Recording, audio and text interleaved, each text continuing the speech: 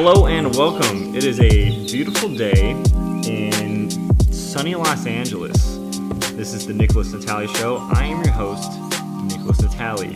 Each week, I meet with individuals that bring life strategies to live a more fulfilling life. This week on the show, we got the one and only Grant Singer. How are you doing, sir?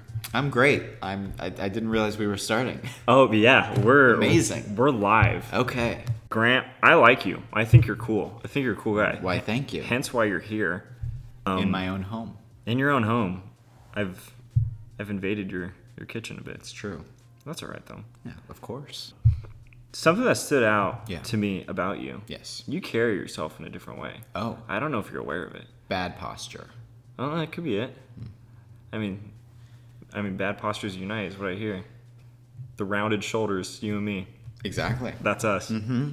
Um, when I met you on set, Yes. I loved you brought your own chair. That is Right. true. I loved that. I was like, that's a power move. Full of power moves. Yeah. Secondly, Yeah. cop car, cop car on set. Uh huh. I was freaking out. Yeah. I thought it was super cool. Uh huh. Everybody else nonchalant. Mm-hmm. You love the cop car.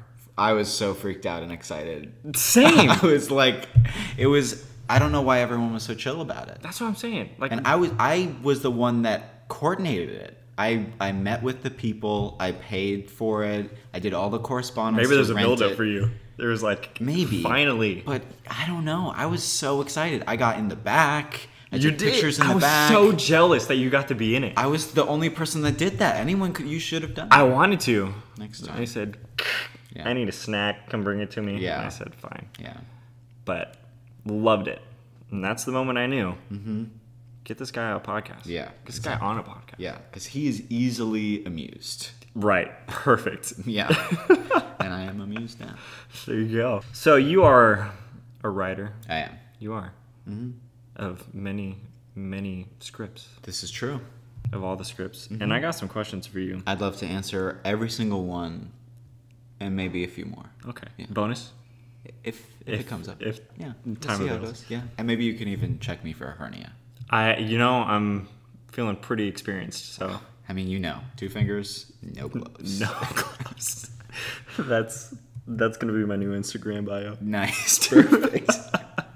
Excellent. Yeah. Yes.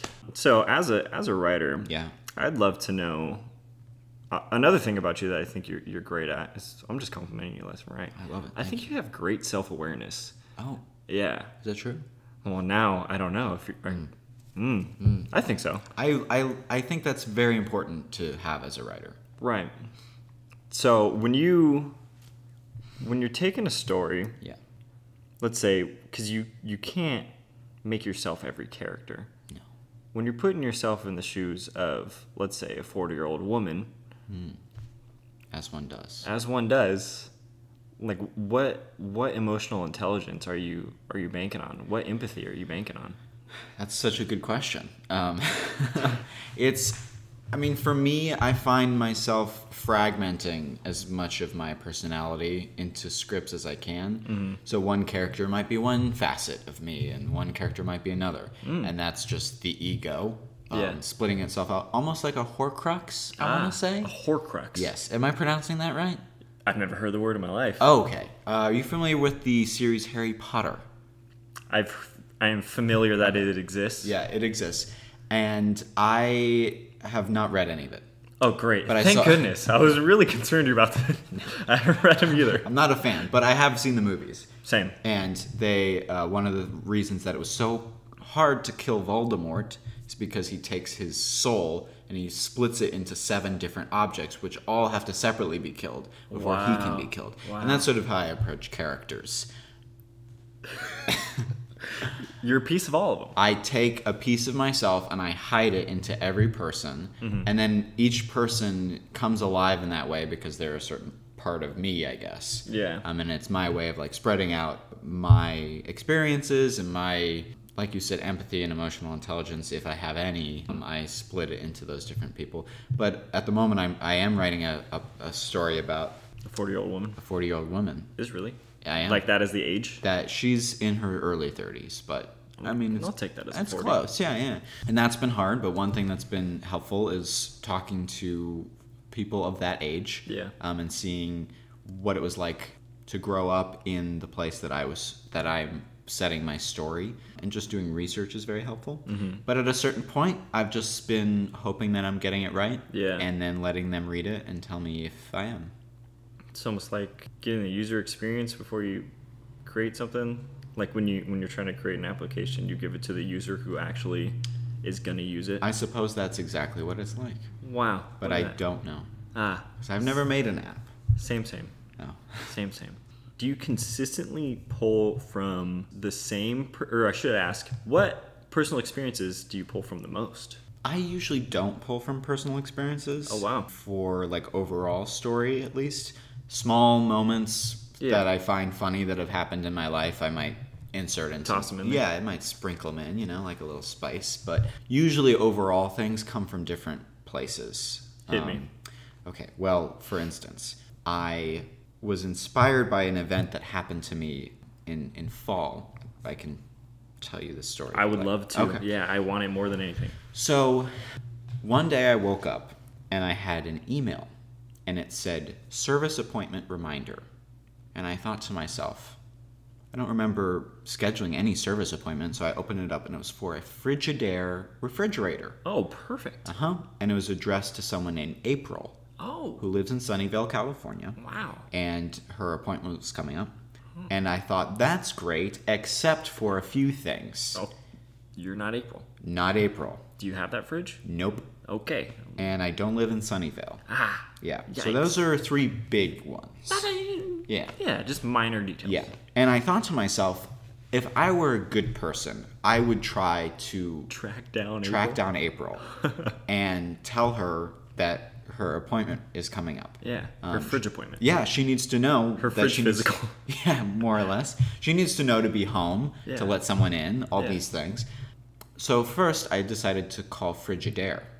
Wow. Yeah. Dude, good for you. Yeah. Well, the, the, I was going to email them, but it was like this email is unmonitored. So I was like, okay, I'll have to call them. Do not reply. Yeah, exactly. So I called Frigidaire, and I got a robot, obviously. Yeah. And the robot said, "Are you calling about a fridge?" And I said, "Well, yes." And Yeah, I pressed yeah, one. yeah. And then they said, "Please tell us the The the serial number of the fridge you're calling about."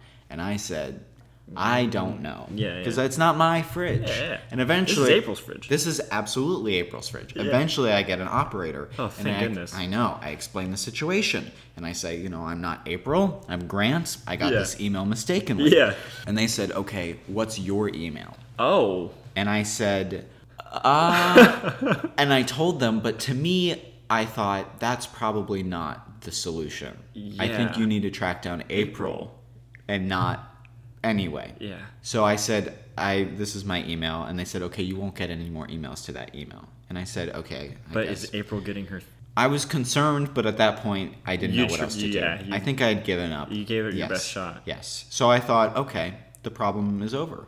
Yeah. Um, Your at least is for me. Yeah. I don't know about April. So some time passes, and then one morning I get another email, and Mm-hmm. it said, "Your service appointment is here. It's today, Oh. April." Thank goodness. yeah. And I thought to myself, okay, well, clearly my call to Frigidaire did not work. Operator did not care at all. Didn't care Yeah. at all. And then I started to panic because I'm getting all these emails, and I'm telling you, I'm getting two to three a week. Wow. Wow. I'm starting to get. This is where. This is when it really starts to worry me. Yeah. Are you ready? I'm ready. The service appointment passed, Oh, and I'm still getting reminder emails. Oh, no. For a service appointment from the from that has That is has over. passed? Oh, wow. Actually, the funny thing was that the service appointment was for Halloween, oh wow. and Halloween passed. yeah. I'm getting them well into November. Oh gosh. Yeah, The, for the same, same- physical. thing. Yes. Yeah. Uh-huh. Oh my gosh. So then I'm really starting to worry. Yeah. I'm thinking, Is April alive now? what happened to April? Did the fridge fall on April? you gotta wonder. I'm wondering. Yeah. So I looked at what information I had On April or on the fridge? On on everything. Okay. And all I have of this is are these same emails. And I have her address. oh Her confirmed address. oh my gosh. Yes. Seems That's like a big no no. It seems like a bit of a no-no, but they're like, we're going to meet you at blank, blank, blank, Sunnyvale, California. at this time. Yeah. And I thought, well, I have to go. Oh my I'm gonna go to Sunnyvale, Oh my gosh. which is up near where I am from. Okay. It's near San Francisco. The Bay. Just outside. Yeah, it's in the Bay Area. Is this how you met your wife or? This is actually how I met April. Okay, Yeah, April okay. is my wife now. Oh, beautiful. Unfortunately, I was working at the time, so I could not make the trek. Ah. But I did Google her, April Sunnyvale. I didn't even have her last name.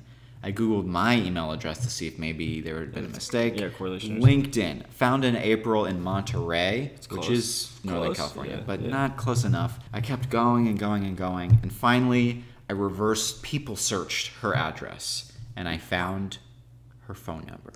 Oh my gosh. And I didn't even know if it was connected anymore. Yeah. And I thought to myself, this is it. This is the moment. This is the moment. And I was too scared to call. No. So I, so I texted. Okay. Okay. Okay. Okay. I thought, I hope she has an iPhone. Yeah. Or a cell phone. Androids. Androids don't get Android's fine. Android's fine, but I, I typed in the number and it went blue, like for iMessage. Yeah. And I was like, okay, I think we're, We're chilling. Not a landline. So I said, hi, April. That's it. My name's Grant. And that was it. I was like too scared to say anything more. Um, I'm so confused. Okay. Yeah, I was just like, I, I think I was like, is this, am I talking to the right person? Is this Okay. April? Okay. Okay. And she was just like, yeah, who are you? Like, Who are you? who are you? Yeah. And you said I'm Grant. And I said, I'm Grant. And she was like, what's Yeah, that to yeah. me? Yeah. Yeah. And then I explained that I, I sent her a screenshot of the email that I've been getting. And I said, I'm so sorry, but I keep getting these emails, and I was wondering if there's any way that you could tell them to stop. And also, your service Yeah. appointment is coming up. Yeah. It's actually in the past. Yeah. Fair deal. Yes. And she thought it was hilarious. Oh, great. Yes. That's nice. She thought it was very funny. The, the tension was dispelled. But she thought it was so funny that she continued to text me. Oh. And I was starting to get confused Oh. Why she was texting me so much. She was saying, You made my day. I was like, Oh, I'm so glad. Well, Yeah, anyway, yeah, there you yeah, go. And she's like, Ha ha ha, it's so funny. And I was like, Yeah, it, really is. And I hope maybe the emails will stop now. And she's like, Haha, yeah, I guess. I guess that's true. Anyway, thanks so much for like telling me. And I was like, yeah, okay. no and problem, she's like, you're very funny. And I was like, Um, okay, okay. all right, thank you. Yeah, yeah. Anyway, and so that's the story. That's is- like the, the the crux of the story. Okay. That's Where's the, the whore of the crux? the ha. yeah. yeah. That's what you need. Ultimately, I'll give you like the many, like two years later thing, except it was in fall. So I'll give you There like m- I'll give oh, you like wow. and now like Oh, we'll, we'll check in you know Yeah, yeah. nine months later at this stage. So I'll tell you what happened. Yeah. I assume April got her fridge fixed. Okay. I know I no longer got service appointment emails, Thank goodness. but and this is No. unfortunate. Oh, oh no. I continued to get emails asking me to rate the service that had been provided to me. Oh my gosh. And finally, I just thought, okay, I'm going to I'm going to do the survey. Yeah. And I just filled in like the whole survey like 10 10 10 10 10. And I was like, all right, You failed. fine. It's fine. I hope the service was good. It's done. And guess what? I still get the emails. Oh my gosh. Moral. What is the moral? I Where is, don't know. What, what do you? So you're telling me those are the experiences you pull from for writing? Yes, because I found myself in this weird, like, post technology capitalist society thing where I was stuck talking to robots, trying to get something fixed in this bureaucratic nightmare. Yeah. Couldn't get April. She's got a fridge that's broken. Yep. Nothing is working For anybody. for anyone. Yeah. Not me, not her, not Frigidaire. Not today. And eventually I thought, okay, what would happen if this hap- if someone was getting these emails and then they decided to go see April? What would that look like? And I and that's that is a script that I wrote. That's beautiful. Mm-hmm. Part of me wonders do you, I don't want to say go out of your way, but intentionally continue those types of things to get more life experience so that you can write more types of deals? Does that make sense? Like you could have hit spam, you know? Yeah, that's true. But do you do you often find yourself getting into the mix of things Definitely. for the sake? Yeah, That's awesome. absolutely. I easily could have gone into Gmail Yeah. and set up a filter and have it directly go to spam. You could have But I thought to myself, it's not every day that something not an opportunity like that. yeah something like this happens Yeah. and i think what what ended up happening was it, it tapped into almost like I don't know if it's a human nature thing or if it's something that some people have, but for me, I I could have probably ignored it, but once I called Frigidaire and I couldn't fix it, then I was like, I'm in. Yeah. I like buckled up. I was like, Responsibilities on you. Mm-hmm. I just thought to myself, it wasn't easy to fix, so now I'm even more invested. Yeah. It it hooked me. Yeah. If someone were trying to catfish me in a very complicated way, That was the then move. this is the way to do it. I was so Frigidaire emails the way I go. was so invested. I told my coworkers, I told friends, I told my oh, family. Oh, that's it. Other people now are invested. And you know? everyone was invested. Yeah, Everyone wanted to know. 'cause they wanna know. Who's April? Yeah. What's wrong with her fridge? Yeah. You know, why are all these things happening? Oh, I forgot to mention that April's ice maker wasn't working. That's she Oh, was texting gosh. me about it. Like I had something to Do with. yeah, Can no, you tell for absolutely not. anyway, ultimately we discovered that our emails were only a few letters different, Ah. um, and phonetically sounded the same. But What are the odds of that? yeah, I don't know. I think I guess at one point she said over the phone her email, which is sunset. Ah. I have to edit that out. Yeah. her email. People are gonna hit up April. Yeah, her email sounded like uh, her name, Got and it. my email sounded nothing like her name. Got it. But enough like her name, perhaps over the phone, that someone typing it Yeah. would make that mistake. Yeah. And so, yeah, I thought this is a very compelling mystery. Yeah. And this could very well be the beginning of a feature where two guys decide to go investigate. They go to April's house. April's not there. Where's April? Where's the fridge? Where's the fridge? April's been dead for six years, or like oh April's been missing. Yeah. Do you know where April is? Or they show up to April's house, and guess what? There are other people looking for April, and they think they know Yeah. where Like- April is. It had a big Lebowski feel to Right. me of just a couple idiots that are get sucked Just into a mystery that does not involve them whatsoever. Yeah, but then they're just in too deep. Exactly. You fall backwards into Yeah. a mystery or uh, some thrilling adventure, which is my favorite kind of comedy Yeah. people who are unprepared who accidentally fall into it Yeah. and then they just have to like work it out Yeah. how fun is that to watch It's pretty fun. Yeah. I must say. What stories do you care the most about telling? Is it the ones like that where people are just falling into it, or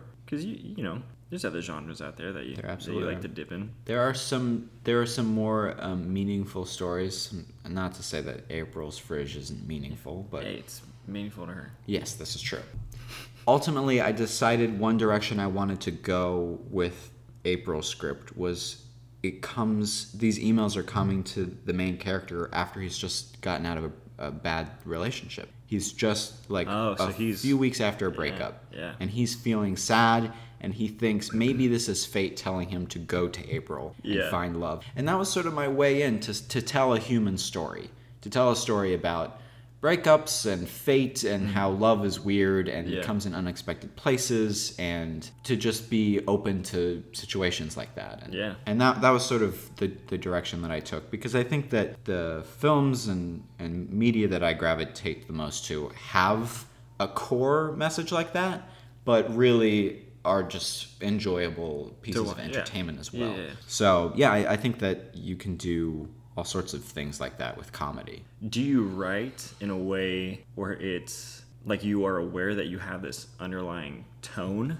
of love is complicated, you know, or or do you write out those those scenes and then it becomes something like that where it has a message? Yeah, I think you need to from the from pretty early on know what your your truth is at the at the center Oh. of it all, what your theme is. Yeah. If you write something without that, then maybe you'll find it, but you might not.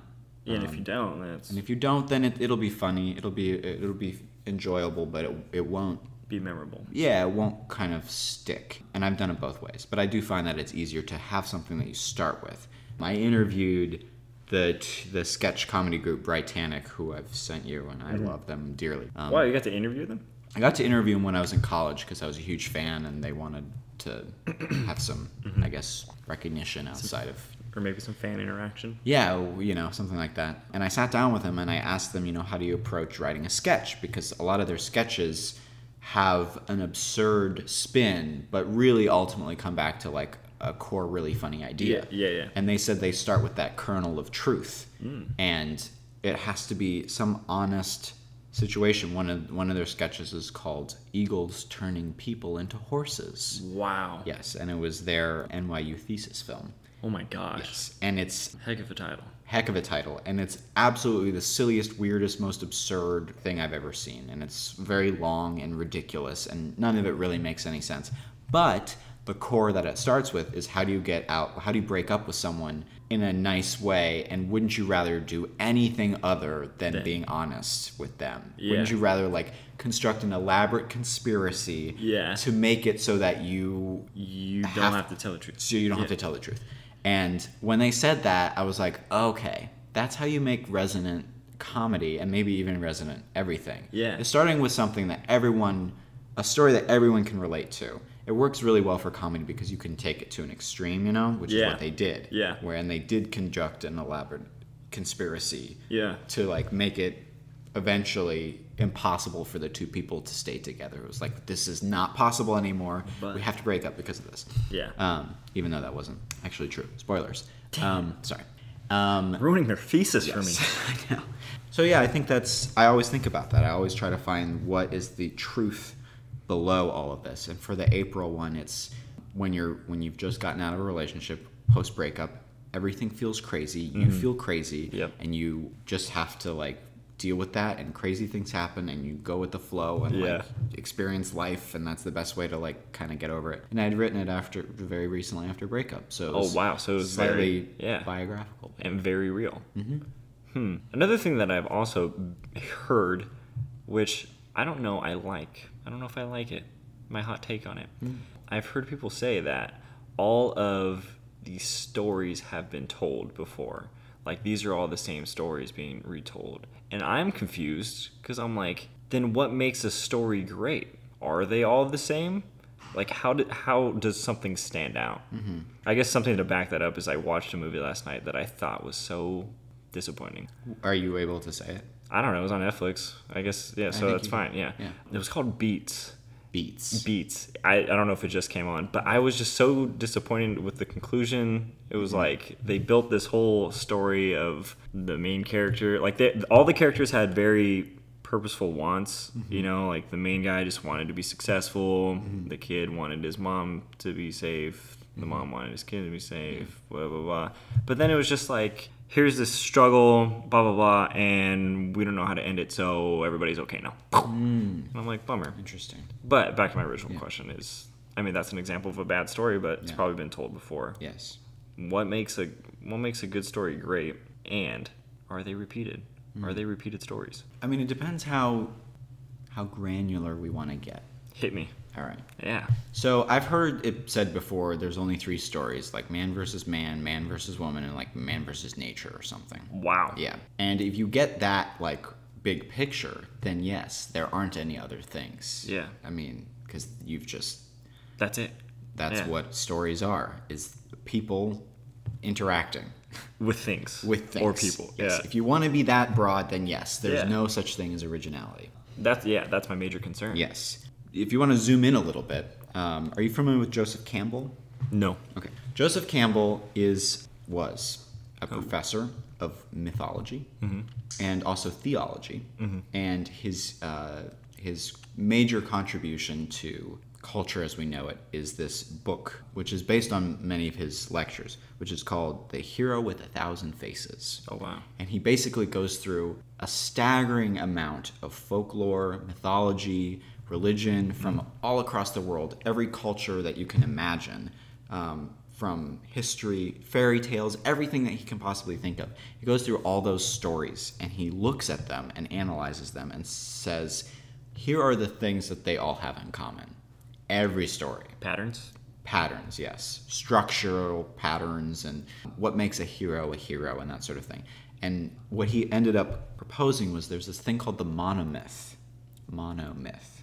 And it's that there's a hero who goes on a journey looking for something and uh, finds it, suffers some consequence, Because he finds it, or just in general. sometimes because he finds it, sometimes just unrelated, has to change and then returns home. Yeah. That's the monomyth. Yeah. That monomyth was taken famously by George Lucas and turned into the first Star Wars movie. Beautiful. Uh-huh. George Lucas was very inspired by Joseph Campbell's work. But you don't have to get so textbook with it. Really, it's just about, you know, you have a main character who wants something and they can't get it. So they have to do something. And then ultimately, what's most satisfying to us as an audience is that it changes them and then they return home and they're different. It doesn't have to be a literal return home. Yeah. It's possible that what didn't resonate with you in the film last night was that the change didn't feel either motivated or Legit, real. yeah sometimes endings like that can feel tacked on if some Yeah. if someone's suddenly like oh and now i am a good person That's literally what it was. Mm-hmm. so you know that that's what happens when you have a story that doesn't have a good enough ending and they say okay well some they I need to change now so like Yeah. they change so sounds like- And change. Yes. Sounds like it was an issue of maybe it wasn't motivated by emotional storytelling or character or something Yeah. like that. If we look at story from that level, then I would say that yes, stories that resonate with us do follow that Yeah. structure. But if you go deeper and closer at a more micro level, I think you can find that there's a, a, a staggering amount of variety, and I don't think that every story has been told. I, I mean, I guess everything has the has a similar skeleton, but like humans, that's Varies. yeah, absolutely. There are big skeletons and small ones, and they're all dressed up in different skin. Right. One thing that uh, my friend mentioned was that one of his favorite movies is Taken. Okay. He described it as a father who has to find his child after it's being after his child's been taken away. Right. Taken. Okay. Yes, exactly. Rescues the child and uh, you know after a series of adventures and all that stuff. But it's also the that's Finding Nemo as well. Yeah. Wow. Yes. So There you go. yeah. So I would say that Finding Nemo and Taken are very different films. I would, I would agree. At I their, would. at their core, they are similar on paper, I guess you could say. yeah. But I wouldn't say that the, that one exists and the other shouldn't because the other already exists, you know? Right. I mean, if I had seen Taken and I was writing Finding Nemo, I wouldn't say, "Oh, it already exists now." Yeah. you yeah. know. Great. Now we can't do it. Now we can't do it. Exactly. I think that, you know, it's really about voice Mm. and the the world that you build for your story because ultimately what we really gravitate towards is a protagonist who wants something because we are those in our own lives. Yeah. And and even our I mean, Joseph Campbell has this idea of which I, I've mentioned before, and Dan Harmon talks about it. It's this idea of a story circle almost. It's, Yeah. a, it's a cyclical thing that happens. And our own lives are like that. Our day is cyclical. You Yeah. know, we start, we go do something whether we want to or not. Yeah. We have to. And then we come home and we're changed in some way. Yeah. And that resonates with us um, as humans. Mm-hmm. You can tell stories that are anti structure, experimental. I'm trying to think of some, and I can't because. Because it's live. Because it's live, baby. Yeah.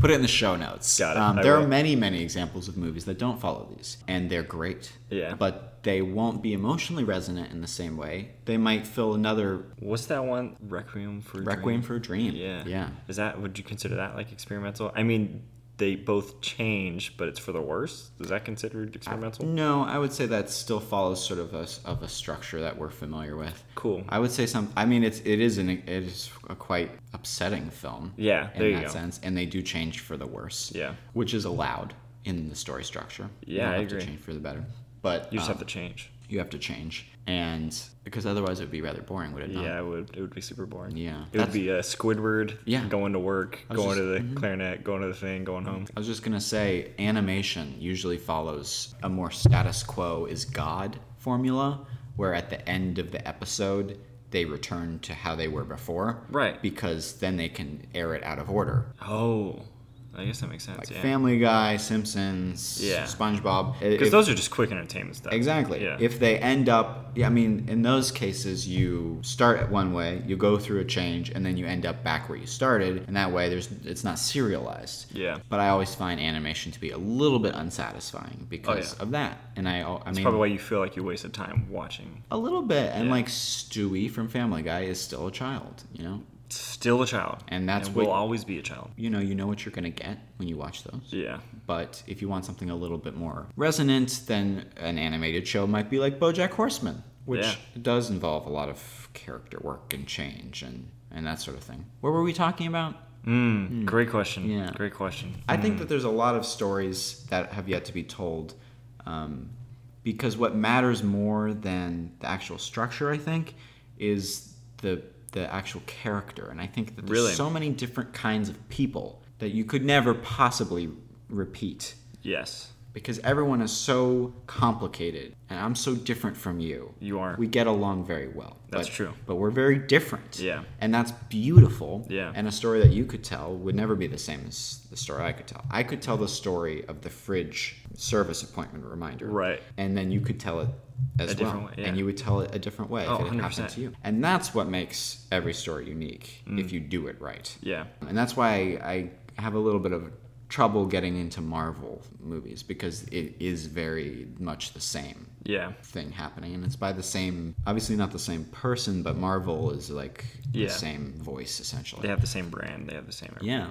but if you a coming of age story in America would look very different from a coming of age story in Africa, even though coming of age is ultimately something that we all share. Yeah. So I wouldn't worry so much about a lack of originality. If you tell stories that are true for you or true from someone else, then I think that the way you tell it is what matters more Yeah. than what you tell. I agree. So when characters take up such an emphasis, do you typically are they fictional characters to you, or do you base them off of people you know? People you know combined with your own personal experience, so they have a little fragment of you too. Yeah, I think that's I think that's all true. It, it's it's all a mix. Some sometimes when I start writing something, I'll just steal someone else's fictional character. Oh, really? For instance, I'm writing a sitcom, Mm-hmm. and as I've been outlining it, it's been helpful to think of like Michael Scott. What would he be like if he were, you know? Yeah, This yeah. is the Michael Scott character, even though ultimately he'll like become his own. His own, thing. yeah. But you know, using other characters as placeholders, so you know what you have a little bit. Yeah. Um, and then you can build it out and make them fresh and new, and instill your own personality, and then they live on. But Hopefully forever. Hopefully forever, even after you're gone. Who has inspired you the most in regards to who in regards to writing and in regards to creativity? Because as we discussed, Yes. jack of all trades, Yes. have your hand in everything. Yes. So creativity across the board. One very inspiring creative person for me is David Lynch. Hit me, I will. please do. David Lynch, um, you would know his work. He made Okay. Twin Peaks and also Blue Velvet and also The Elephant Man. I've heard of Elephant Man. Okay. I'll take that. Those are the big ones, I would Got say. it. And he bases, oh, also Eraserhead. No? I know Elephant Man. Okay, Man. you know. He bases a lot of his work on dreams and uh-huh. subconscious. Oh, wow. And he's a huge proponent of transcendental meditation. So a lot of his creativity comes from meditation and the thoughts. He's very open to the thoughts that come from his subconscious. And that's why his things are very weird. Yeah. But it's beautiful because he's so free and open to that part of himself and allowing these ideas to oh Mulholland Drive is another great one that he's made. You should definitely check that out. I should check him out for Um, sure. Show notes, show notes, show, Show notes, notes, show notes. show notes. He's super inspiring and the way that he describes his creative process is really interesting. He used a metaphor that when he's writing something, it feels like he's in a room mm-hmm. and someone keeps slipping puzzle pieces under the door. and he doesn't know what the puzzle looks like. But every so often he gets another piece, and he has to figure out how he wants to put it together. Yeah. he doesn't. You know, he's no access to that other room. Yeah. and that's sort of his subconscious slipping him these pieces, and I love that. That is, yeah, that's a great Yeah. analogy. So he's very inspiring to me. I would say David Lynch is like a big creative inspiration. In terms of like writing and, and film specifically, I mean, I love Spike Jonze, um, who did Her and some other things. Um, trying to think who else. Tarantino is obviously Classic. classic. He's very creative, and even going so far back as Alfred Hitchcock. Wow. His approach to storytelling is still so much better than most people. Yeah. Even now, because he really could understand how to play the audience perfectly. He knew exactly what the audience would be thinking at every second, and how to manipulate their expectations Yeah. and surprise them and suspend them. Um, so yeah, those are those are some inspirations I would say. Those are good. Hmm? Something that you said that I think is pretty interesting is he, David Lynch, Yeah. he allowed himself to work creatively almost without judgment. And I think that's one of the hardest things Mm-hmm. Yes. to do because another quote I heard recently or read or something was like the hard part isn't writing what you want to write, sitting down to write. And I think a large portion of that, at least in my case, is like self judgment. Like Yeah. what if it's bad? Yeah. Or like just whatever, like not not allowing yourself to be creative. Mm-hmm.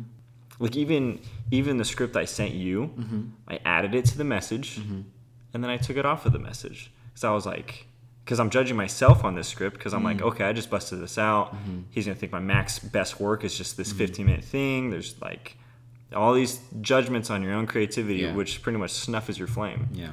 Like I'm glad I did send it, Mm-hmm. But at the same time, you know, do you do you do you have something that you do to say, I'm just gonna go for it, or do you allow it to be there and then embrace it and work off of that? Yeah, it's very hard. I, I think a lot of times I get tripped up by my own self criticism. Yeah. I think it's important to, once you have the idea and you're excited about it, which usually happens at the very beginning of the process. Yeah. You're very excited about it. I would say that's the moment to like try to get in all the worst part of the work, Yeah. which is like outlining it, figuring out your characters, setting up your world. Try to do that as fast as possible when you're still excited, Mm-hmm. because once that excitement goes, it's really hard to follow through and sit down and write it, and you're saying to yourself, "This is the worst thing I've ever done." Yeah, then you're critical, analytical on it. exactly. So try to ride that first wave of excitement Yeah. um, as as much as you can, and then at that point you have to just be really disciplined and sit down. One of my favorite people is this guy Austin Kleon, whose book I happen to have Wow. in my hand, as if I was prepared. Yeah, let's pretend to show it to the camera. Yeah, exactly. is. Um, Austin Kleon writes a lot about the creative process, and one thing he has is this. It's called the chart of every project, Hmm. and it starts with your excitement very much at the top, Yep. and then as time passes, it goes down, and then about halfway through, you say, "This is the worst thing I've ever done." Yeah. And then at the end, it's slightly above the the worst part, and you say, "This isn't the worst thing I've ever done, but the next one will be better," and Yeah. it's done. Yeah. And that's kind of how you have to look at it. Man, Mm-hmm. it's a rough cycle. It is a rough cycle. This is not an easy field that we've picked for ourselves That's true. I feel like it's the only field though. Yes. Do you think writers stay up late because of that initial excitement? Like, oh, I better write it now. It's possible. I mean, I when you're in that state, Yeah. you don't want to go to sleep. It's like Christmas morning. Yeah, because you finally got something. Mm-hmm. Bingo. Mm-hmm. Dope. Do you drink a lot of coffee? I don't because it makes me jittery, but if I have to work very long hours in this new job, I probably will start having to drink coffee. I hope so. Yeah. Creamer or black? Black. Mm.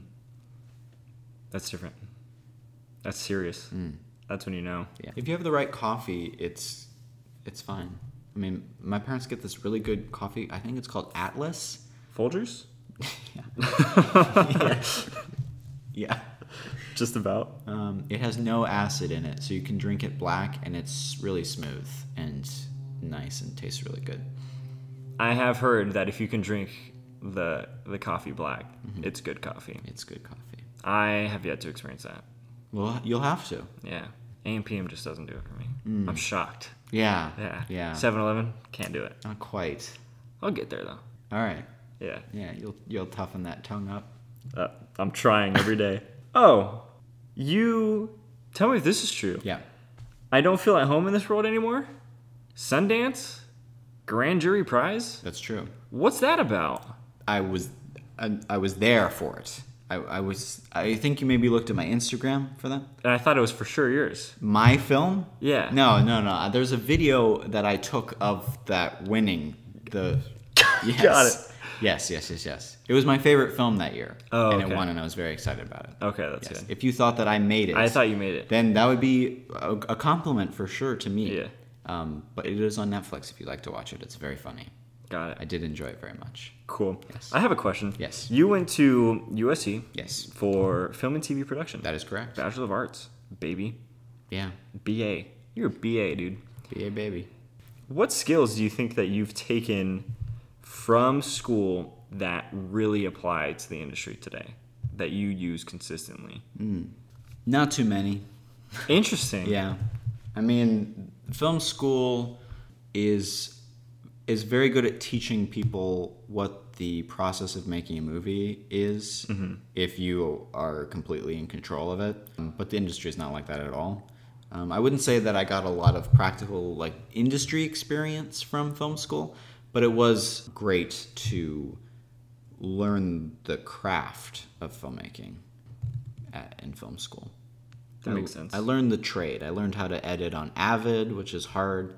I learned how to Practical skills. Yes, I learned how to set up lights. I learned some sound editing. Yeah. Boom. For sure, boom. Lots Um, of booming. A lot of booming. Um, you were booming in college. yeah, I found that when I got into the industry, I was still like, I still had, um, I learned more from internships Mm. um, than anything. They don't really, 'cause a lot of, this is not going to be super surprising, I hope, but a lot of the, the professors at in film school are not in the industry because they're Teaching. teaching Yeah. Um, for one reason or another. Yeah. The one professor that I had um, got a film into Sundance, and Oh, then nice. she had a kid, so she taught film for a while Uh-huh. and taught me. And now that her kid is like older, um, she's, back go- she's going back in. She just directed a thing for Netflix. That's and- awesome. Yeah, it's super awesome. But you know, they're in, they're at school because they Something else is going on. Yeah, they need something Stable for a while. yeah, exactly. So they're they're not super aware of what's going on. I, I learned Yeah. a lot more just once I graduated. I worked in the industry. I saw, oh, okay, this is how things work. But it was great to be in film school and meet the people I met. Jesse, obviously, is one Yeah. of those people. Yeah. Um, and Benedict, I just happened to meet. He wasn't in film school, but I happened to meet him separately. Wow. Blessed. And he's like my Your go to. my go-to guy. Beautiful. Yeah. What is the top, like the pinnacle, or what's the route for a writer? It depends if we're talking film or television. Oh, you choose. For film, I don't know because you just You write a film and yeah, then- and then maybe someone will read it someday. It sounds very difficult. For TV, it's a little better. There's Okay. actually a ladder. Okay. And it starts with being a writer's PA, Got it. and that is the Always. always Got it. That is the person, unless you like somehow Fina- finagle your skip script your somewhere. way into yeah exactly, which does happen. Yeah. Um, you start as a writer's PA and you assist the writer's room Mm-hmm. um, by bringing lunch and all that kind of stuff. And then from there, you usually move up to writer's assistant, which is where you take notes on everything going on in the room and you send out um, those notes at the end of the day and then they read them or they don't. Yeah. Um, from there, you become a script coordinator, Right. Which involves taking all the scripts and making sure all the drafts have all the changes that they want made. Oh, perfect. And then sending them out to everybody. Oh, wow. And making sure that everyone is up That's a to big date. deal. Yes, exactly. And there's all these revisions that you have to do um, when you're on set, especially. Um, they might change like a location, and then everyone needs a new updated script with that. Yeah. So you're in charge of all the ch- uh, page changes. Um, so that's a lot of work. Yeah. And then from there, if they like you, if you've Wow. If you've gone through, yes, you're the hero. That's your journey. There's the trial right there. Mm-hmm. yes, that's the trial. And then if they like you and you've made it, then you can often be hired as a staff writer on a TV show. Beautiful. And then you're there. Yeah. And then from there, you know, you work your way around TV shows, and hopefully you write some good episodes, and then people like you, and then you know you get to write bigger episodes, and then maybe people in the industry are like, you should have your own TV show. So what do you what do you know what do you want to make? And then you get to get to choose. Yeah, if you're lucky. Boo boo boo boo boo boo boo boo boo boo boo. We're going into the lightning round. Okay, cool. So you're gonna answer as fast as you can. Okay. Favorite book. Phantom Tollbooth. Favorite movie. Ferris Bueller's Day Off. The worst experience you've had in a classroom. I was in a poetry class and I had recorded on my phone myself singing Lucy in the Sky with Diamonds. Oh and my- it accidentally went off. Oh my And this was high school. It accidentally went off in the quiet poetry class. All of a sudden, you could hear Oh, m- a recording of me singing Lucy in the Sky with Diamonds. From your pocket or from your backpack? Uh, from the table, sitting on the table. Oh my. so was- there's no way that it was, yeah. How'd you play that off? Uh, I didn't really. I just paused it and I was like, oh, I'm sorry. Beautiful. I got very red. What animal do you relate to most? Seal, Um, ice cream flavor. strawberry. Favorite beach. Anything in Malibu. Okay. Quiet. Where do you go to clear your head? Any high place. Really? Like rooftops, mountaintops, tabletops. Dang. Yeah. Bikini tops. I, Yay. I like to be high up. Okay. Yeah. What's the most exhilarating experience you had? Um, I used to sneak into award shows No way. Yeah, back in college. Like we talking big ones? I snuck into the American Music Awards. Oh snuck gosh. into the iHeartRadio Music Awards. Oh my gosh. I snuck into the SAG Awards. Oh my gosh. Um, never snuck into the What's Oscars. your freaking strategy? You wear a suit and tie.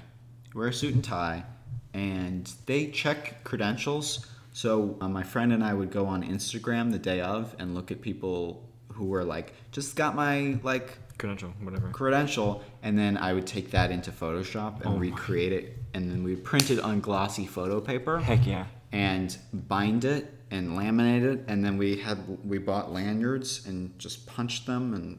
You know, made made the credentials basically forged credentials. That's And they beautiful. look very real. That was actually something that was almost as fun as going to the show. Was the the fun of getting every detail right of the credentials Yeah. and then we would yeah we would sneak into the award shows and that was absolutely exhilarating when you Sounds exhilarating. when you go past security you take your stuff out of your pockets you go through they look at your credentials and you go in Oh my they God. let you in That's amazing. and it's very exhilarating because you've done it you've snuck in You made it. yeah I imagine that's a very just just got out of prison feeling.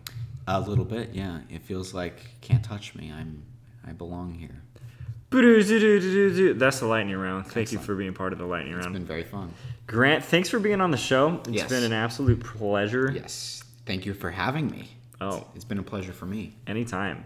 What is what's the life strategy from from this podcast? always know what you're getting into when you go to a physical Mm, that's a good one. Mm-hmm. Mine's gonna be originality is still possible. Oh. That's mine. Yeah, mine. that's a better one well, mine has a little bit of hope. Yeah. But yours is yours is practical. Practical, yeah, Yeah, which yeah. is just as important. Mm-hmm. Okay, where can we find you on the internet? You can find me uh, at twitter.com slash Grant Singer. Love it. That's the best place to find me. Cool. Yeah. You can also find me at vimeo.com slash Grant Singer. Love it. But- Should I use my browser for twitter.com or You can also just find me on your on your Twitter mobile app. Oh, really? Um, I am at Grant Singer. Beautiful. Yes. Okay, bye. Bye. Thank you, Nick. Thank you, Grant. Bye. Bye. Bye.